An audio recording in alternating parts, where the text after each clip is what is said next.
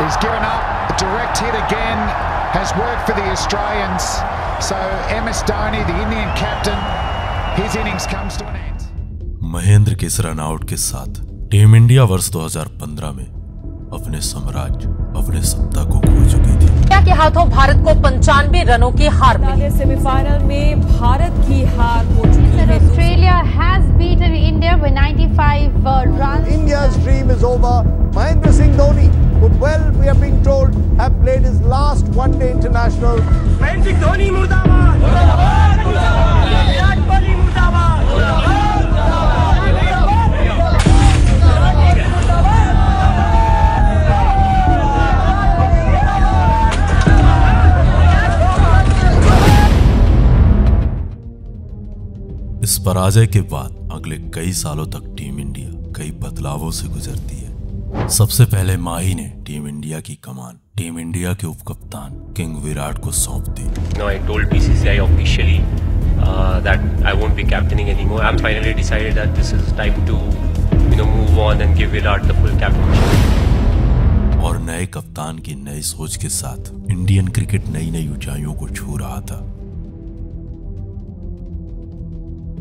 लेकिन कंगारुओं के हाथ हो। सेमीफाइनल में उस पराजय के बाद 2017 चैंपियंस ट्रॉफी के इस फाइनल में रुकते पाक के सामने इंडियन टीम ने विश्व चैंपियन होने का खिताब खो दिया। ये पराजय संपूर्ण भारत के लिए असहनीय, अकल्पनीय, बेहद दर्दनाक थी। परंतु अब सबको इंतज़ार था वर्ष 2019 2019 के इस वर्ल्ड कप का। विराट की कप्तानी में टीम इंडिया का डोमिनेंस अब संपूर्ण विश्व देख रहा था। वर्ल्ड कप के लीग मैचों में बैक टू बैक जीत अर्जित करती है।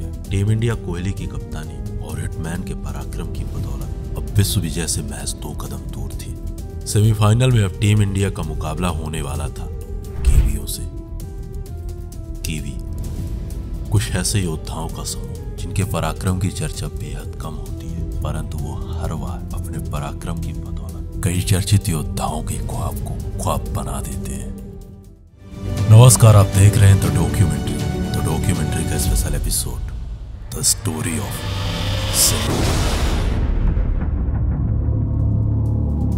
नौ जुलाई 2019 मैनचेस्टर का ये मैदान।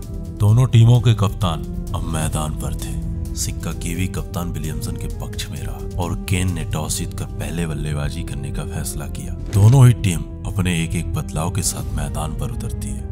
कीवियों की टीम में सऊदी की जगह फॉर्ग्यूसन को, को मौका मिलता है। वहीं टीम इंडिया में कुलदीप की जगह शिजुरबिन चहल को मौका दिया जाता है। न्यूजीलैंड की पारी की शुरुआत स्वयं मार्टिन गप्टिल और हेनरी निकोल्स कर रहे थे। न्यूजीलैंड के इन दोनों बल्लेबाजों के सामने चुनौती थी भुवनेश की स्विंग और जसप्रीत के यारकर की। शुरुआती दो ओवर तक इन दोनों बल्लेबाजों का बल्ला खामोश रहता है। चौथे ओवर में जसप्रीत ने मार्टिन को अपना शिकार बना लिया। पाँच ओवर की समाप्ति तक न्यूजीलैंड का स्कोर सात रन पर एक विकेट था। इन दोनों गेंदबाजों के शानदार गेंदबाजी की बदौलत कप्तान केन का पहले बल्लेबाजी करने का फैसला अब तक गलत साबित हो रहा था। पहले पावर प्ले में न्यूजीलैंड के खाते में महज सत्ताईस रन आते हैं। इंडियन गेंदबाज कीवी बल्लेबाजों पर पूरी तरह हावी थे। पावर प्ले के समाप्ति तक केवियों के दूसरे ओपनर ने भी घुटने टेक दिए। अब 20 ओवर का खेल खत्म हो चुका था। केवियों के खाते में तिहत्तर रन पर दो विकेट थे। रॉस और केन का संघर्ष जारी था। न्यूजीलैंड के ये दोनों बल्लेबाज एक एक बाउंड्री के लिए तरस रहे थे। 30 ओवर तक न्यूजीलैंड मैच 113 रन बना पाती है। कप्तान विलियमसन ने 78 गेंदों में अपना अर्धशतक पूरा किया। कीवियों के ये दोनों बल्लेबाज 3.8 के रन रेट से बल्लेबाजी कर रहे थे। इस धीमी बल्लेबाजी के कारण न्यूजीलैंड 35 ओवर में 133 रन बना पाती है।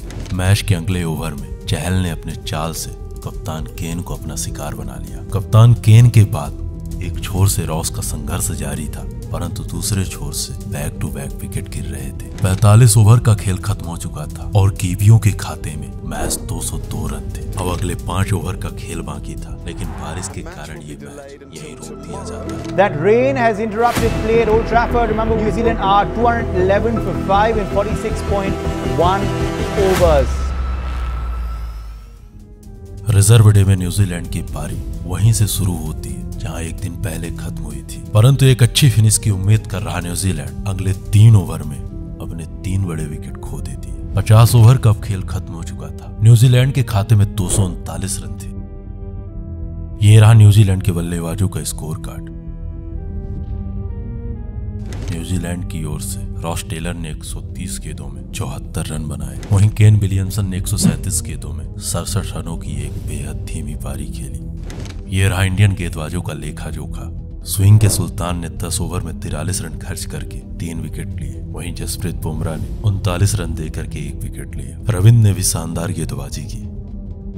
टीम इंडिया के सामने 300 गेंदों में 240 रनों की एक शानदार चुनौती थी। टीम इंडिया के लिए ये लक्ष्य असंभव तो नहीं, परंतु ओवरकास्ट कंडीशन होने के कारण ये लक्ष्य आसान भी नहीं था। इस लक्ष्य का पीछा करने उतरे रोहित और राहुल के सामने चुनौती थी ओल्ट और मैट हेनरी की। मैट ने मैच के दूसरे ही ओवर में टीम इंडिया पर सबसे बड़ा पलटवार किया और टीम इंडिया की सबसे बड़ी उम्मीद, इस विश्व कप के सबसे खतरनाक बल्लेबाज पावरफुल हिटमैन को अपना शिकार बना लिया। उप कप्तान हिटमैन का इस कदर जाना भारत के लिए बेहद दर्दनाक था। हिटमैन के जाते ही अब मैदान में था। The man the myth the chase master king Virat परंतु मैच के अगले ही ओवर में बोल्ट ने किंग विराट को लेग बिफोर आउट कर भारत की उम्मीदों में पानी फेर दिया। टीम इंडिया ने बैक टू बैक अपने टॉप के तीन बल्लेबाजों को खो दिया। न्यूजीलैंड के इन दोनों गेंदबाजों ने इंडियन बल्लेबाजी की जड़ें हिला दी। रोहित, राहुल, किंग विराट, ये तीनों बल्लेबाज शुरुआती चार ओवर में सिमट चुके थे। पहले पारी में 50 ओवर तक डोमिनेंस करने वाली टीम इंडिया दूसरे पारी की शुरुआत से ही बैकफुट पर नज़र आ रही थी। कीवी गेंदबाजों का ये पलटवार इंडियन बल्लेबाजों की समझ से परे था। यंग पंत और टीके ने टीम इंडिया को संभालने का प्रयास किया, लेकिन दसवें ओवर में एक बार फिर कीवियों ने एक मिनी पलटवार किया और साधारण दिख रहे टीके को अपना शिकार बना लिया। अब पावर प्ले खत्म हो चुका था। टीम इंडिया के खाते में मैच चौबीस रन थे और इन 24 रन बनाने में टीम इंडिया ने अपने चार विकेट खो दिए थे। इंडियन क्रिकेट की ये दयनीय स्थिति इंडियन क्रिकेट प्रशंसकों से देखी नहीं जा रही थी। उनके चेहरे की ये मायूसी, उनके चहन के दर्द को साफ़ साफ़ बयां कर रही थी। इन विलखते चेहरों से साफ़ नज़र आ रहा था कि एक बार फिर से इंडियन फैंस का दिल टूटने वाला है। एक बार फिर से टीम इंडिया के लिए फाइनल के दरवाजे बंद होने वाले हैं। परंतु हार्दिक और पंत के संघर्ष से टीम इंडिया इस मैच में कुछ हद तक वापसी कर चुकी थी। इन दोनों के समझदारी की बदौलत टीम इंडिया बीस ओवर में सत्तर रन पहुँच चुकी थी। लेकिन ऋषभ के आक्रामक रवैये के चलते और एक बार फिर से टीम इंडिया की उम्मीदों में पानी फिर चुका था। ऋषभ के साथ आबादी टीम इंडिया, पवेलियन इंट से ये मैच देख रही थी। कुछ ऐसे ही हालात में अब एंट्री होती है। 2011 के विश्व विजेता और टीम इंडिया के संकट मोचन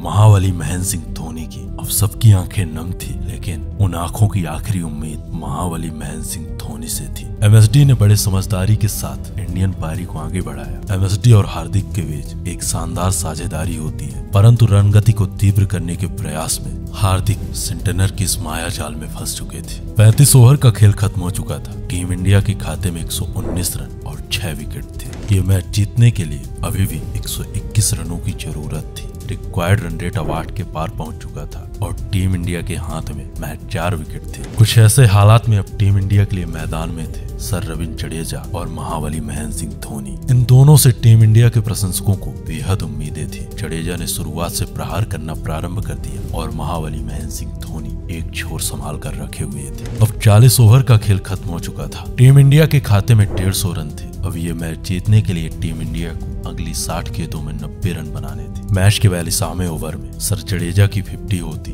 जडेजा ने मैच 40 गेंदों में 50 रन पूरे किए, तीन बड़े छक्के और तीन बड़े चौकों के साथ। जडेजा द्वारा खेली गई ये तूफानी पारी एक बार फिर से केवियों को सोचने के लिए मजबूर कर चुकी थी। मैच के पैंतालीसवें और छियालीसवें ओवर में मिलाकर टीम इंडिया के इन दोनों बल्लेबाजों ने बीस रन बटोर लिए। अब अगली 18 गेंदों का खेल बाकी था और टीम इंडिया को यह मैच जीतने के लिए मैच सैंतीस रन बनाने थे, परंतु ट्रेंड वोल्ट के इस ओवर में टीम इंडिया मैच छह रन बना पाती है और रविंद्र के रूप में अपना एक सबसे बड़ा विकेट खो देती है। सर जडेजा के आउट होते महावली महेंद्र सिंह, धोनी एक छोर से अकेले पड़ जाते हैं। टीम इंडिया को यह मैच जीतने के लिए अगली 12 गेंदों में अब इकतीस रन बनाने थे। टीम इंडिया की सारी उम्मीदें और महावली महेंद्र सिंह धोनी से थी। महेंद्र ने छक्के के साथ इस ओवर की शुरुआत की और टीम इंडिया को यह मैच जीतने के लिए अगली 11 गेंदों में मैच 25 रनों की ज़रूरत थी। लेकिन लकी की अगली बॉल पर महेंद्र एक रन भी ना बना सके अब टीम इंडिया को अगले 10 गेंदों में 25 रनों की ज़रूरत थी। ओवर की तीसरी बॉल और महेंद्र सिंह धोनी का एक रन और इसी एक रन के साथ महेंद्र सिंह धोनी दूसरे रन का प्रयास करते हैं। इस दूसरे रन के प्रयास में मार्टिन गप्टिल का यह डायरेक्ट थ्रो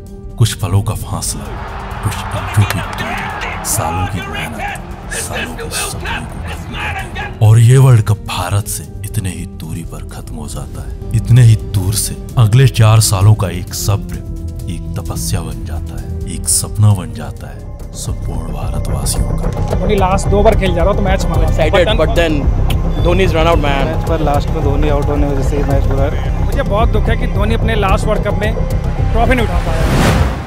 कप्तान कोहली का ये मायूस चेहरा, रोहित की ये नम आँखें, बिलखते महेंद्र का ये चेहरा, करोड़ों भारतवासियों के टूटे हुए सपने को बयां कर रहा था। ये वर्ल्ड कप हमारे लिए सिर्फ़ वर्ल्ड कप नहीं था बल्कि पिछले छह सालों का वो सब्र था जो अगले चार सालों की तपस्या में बदल चुका था। इस हार के साथ संपूर्ण भारत के चयन में दर्द था।